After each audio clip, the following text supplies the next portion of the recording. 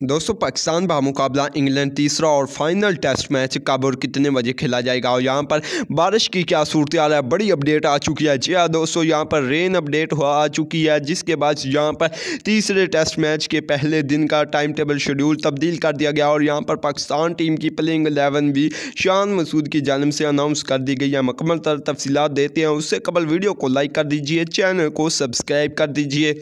तो यहाँ पर वीडियो को स्टार्ट करते हैं। पाकिस्तान बा मुकाबला इंग्लैंड तीसरे और फाइनल टेस्ट मैच के लिए। यहाँ पर पाकिस्तान टीम की अगर प्लेइंग एलेवन की बात की जाए तो नंबर एक पर यहाँ पर साइम अयूब ओपनिंग जोड़ी करेंगे, जिसके साथ आएँगे अब्दुल्ला शफीक नंबर दो पर, नंबर तीन पर कप्तान शान मसूद नंबर चार की बात की जाए तो यहाँ पर कामरान गुलाम है नंबर पाँच पर यहाँ पर मोहम्मद रिजवान नंबर छः पर साउथ शकील पाकिस्तान टीम के नायब कप्तान, जबकि नंबर सात पर सलमान अली आगा, नंबर आठ पर आमिर जमाल, नंबर नौ की बात की जाए, साजिद साजिद खान नंबर दस पर, यहाँ पर नुमान अली और नंबर अलेवन पर लास्ट नंबर पर जाहिद महमूद हैं। ये पाकिस्तान टीम की फाइनल प्लेइंग एलेवन है। इंग्लैंड के खिलाफ तीसरे टेस्ट मैच के लिए और यहाँ पर बात की जाए टाइम टेबल और शेड्यूल की, यहाँ पर रेन अपडेट बताई जाए तो यहाँ पर, कल यानी कि, यहाँ पर चौबीस अक्टूबर को रावलपिंडी क्रिकेट स्टेडियम में रेन का ये अपडेट है। सुबह के वक्त रेन आएगी और यहाँ पर आप लोगों को बताते चलें, जो टाइम टेबल शेड्यूल चेंज किया गया है। और यहाँ पर यह है कि ये मैच आप लोगों को सुबह दस बजे स्टार्ट होने को मिले मिलेगा, क्योंकि पहले इसका टाइम टेबल शेड्यूल